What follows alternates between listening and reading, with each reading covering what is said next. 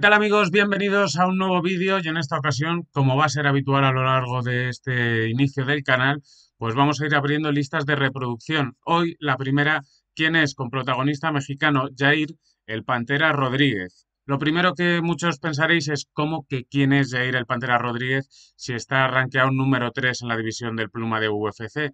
Pues sí, pero este quién es, vamos a intentar repasar los nombres de la actualidad, pues para conocer un poquito mejor de dónde vienen, qué ha pasado en sus vidas y cómo han llegado hasta este momento. El mexicano de 28 años tiene cuatro combates de la noche, cuatro actuaciones de la noche, un KO eh, del año y lleva desde 2014 en la compañía si contamos con TUF y su experiencia en UFC. También ha tenido episodios más desagradables. Todo de la figura de un eh, pateador excelente con unas herramientas brutales, con un ritmo de combate eh, también muy alto y que es capaz de, en el tiempo que lleva, haber creado una, gran, un gran número de seguidores con un récord de 13-2, con 28 años, con mucha experiencia, con unas habilidades en el pateo extraordinarias, con un striking muy elegante y muy bonito, con capacidad en el suelo, un tío muy inteligente y sobre todo muy joven y quién sabe si en un futuro también posible rival de Ilia Topuri. Con todo esto, el mexicano nacido en el 92 yo creo que es un candidato perfecto para empezar esta sección. La de quién es, que comenzamos ya y lo hacemos con el mexicano Jair, el Pantera Rodríguez, del que hay mucho que saber y mucho que conocer. Y para repasarlo, como siempre, lo hacemos repasando yendo por sus etapas más eh, marcadas en su trayectoria. La primera, entre Nemesis y Mexican Fighters, eh, consigue 5 6 combates hasta llegar a TUF, la segunda etapa. La tercera, su paso a UFC. La cuarta, el eh, KO del año frente a Korean Zombie, lo vamos a ver en detalle, como he dicho. Y la quinta, una última etapa en, en la que nos vamos a centrar en la actualidad. Así que una vez que conocemos las etapas, nos sumergimos ya en la vida y trayectoria de Jair el Pantera Rodríguez. La primera de las etapas nos lleva directamente hasta 2011. Entre 2011 y 2014 tiene su primera etapa profesional. Su debut es en Mexican Fighters Promotions. También compite a lo largo de estos primeros seis combates en otra promotora llamada Nemesis. Y en esos eh, seis litigios, vamos a decir, pues consigue cinco victorias y una derrota frente a Roberto Herrera en 2012. La única mancha en su currículum hasta que una vez ya en UFC perdería frente a Frankie Edgar. Pero eso es mucho después. Lo siguiente es su paso por el programa más conocido del mundo de las MMA, The Ultimate Fighter, en su versión latinoamericana. Llegaba el año 2014, llegaba la gran oportunidad para Jair Rodríguez. Lo hacía en ese programa tan conocido como Stuff que el ganador tiene la posibilidad de firmar un contrato con la compañía de Dana White. Llega 2014, como decimos, llega la participación en TUF y son tres combates los que tiene que afrontar Jair. El primero contra Humberto Brown, el segundo contra Rodolfo Rubio y el tercero contra Leonardo Morales. En la final gana y consigue ese contrato que eh, demostraría que no fue casualidad la victoria de Jair Rodríguez en el programa de, Dana White. Em, lo hace eh, de forma contundente. Hay dos pesos en este, en este 2014, hay gallo y hay pluma. Y si no me equivoco son Fabricio Verdún y em, Caín Álvarez, el mexicano, los encargados de dirigir a los equipos. Así que esta experiencia clave en el futuro de de Jair y sobre todo atentos a su paso a UFC porque el Pantera no decepcionaría a sus eh, ni amigos, ni enemigos, ni familiares, ni nada. Su papel en UFC ha sido brillante, por lo menos al principio. Vamos a ver cómo fueron esos inicios. Esto que vemos amigos ya es eh, UFC. Este es su, su, la final frente a Leonardo Morales de TUF. Recoge el premio y a partir de ahí eh, demostró que no iba a defraudar a, quien a quienes habían creído en él.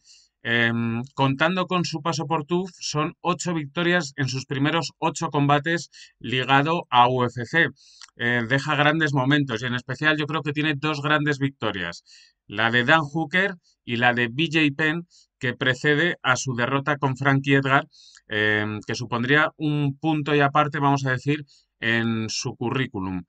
Decía que había dos grandes victorias, ¿verdad? Pues esta es la segunda, la de BJ Penn, que es un combate espectacular, precisamente por el trabajo que pone Rodríguez entre las ocho paredes.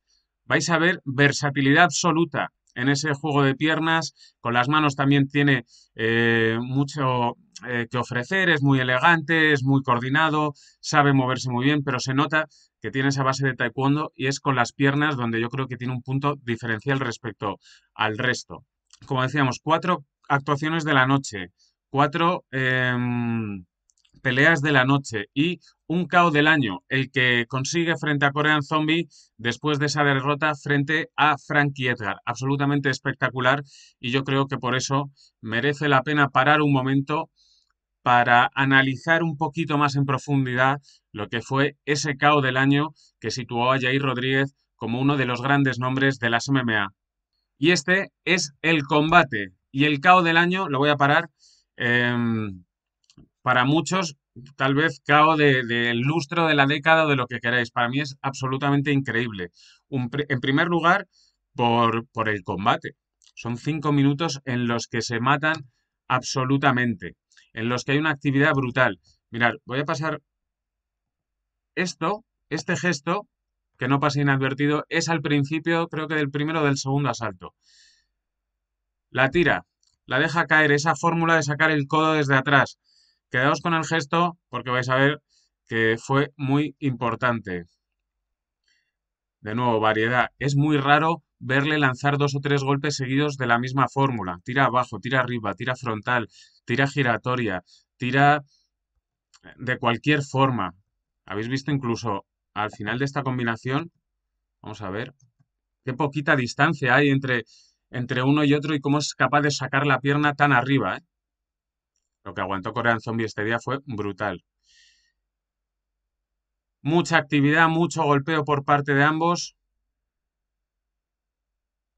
Y aquí, aquí llega el momento clave, ¿no? Faltan 13 segundos del quinto asalto, celebran, lo están viviendo, saben que han hecho el combate del año o el combate de la noche segurísimo.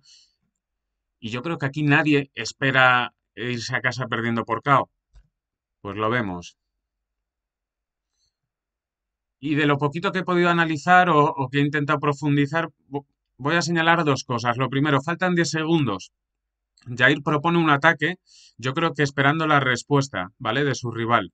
Y en esa respuesta creo haber encontrado una clave del KO. A ver si la compartís conmigo.